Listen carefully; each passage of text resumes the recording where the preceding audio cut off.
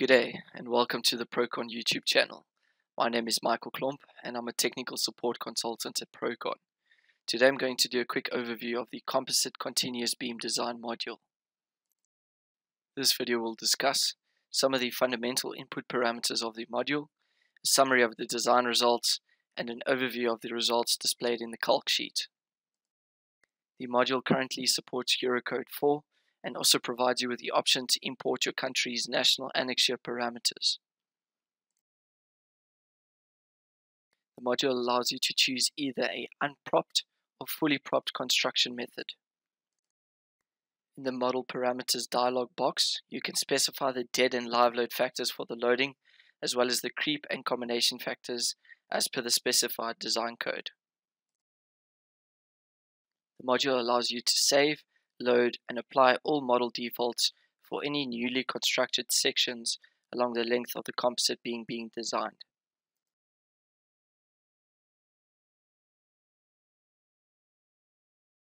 The section tab is very similar to what is displayed in the composite beam section module. However, that being said, the tab has the following added to it. It requires you to specify the actual width of the concrete section displays the calculated equivalent section line loads for the concrete, temporary formwork, and steel beam. And most importantly, it allows you to add multiple sections to cater for hogging and sagging moments along the length of the beam.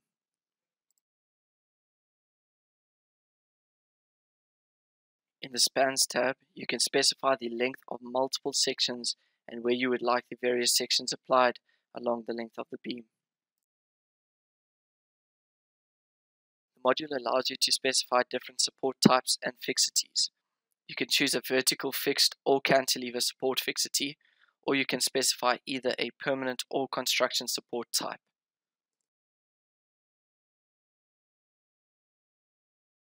The Loads tab allows you to specify different loading types for different load cases. You can choose a dead, live, or construction load case, and you can add line loads, point loads, or moments at any location along the length of the beam.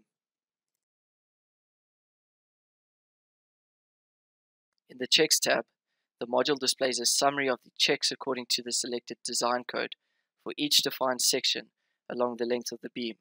You can toggle between the various sections to evaluate what result either passed or failed for the selected section. The Utilization tab displays critical maximum and minimum moments and shear force utilization and resistant results for all defined spans according to the chosen construction method type. Should you have specified an unpropped construction method, you'll be able to toggle between both the construction and composite results and then evaluate the results accordingly. The Design tab then also allows you to view the deflection moments and shear force diagrams for the different load cases, combinations, and envelopes.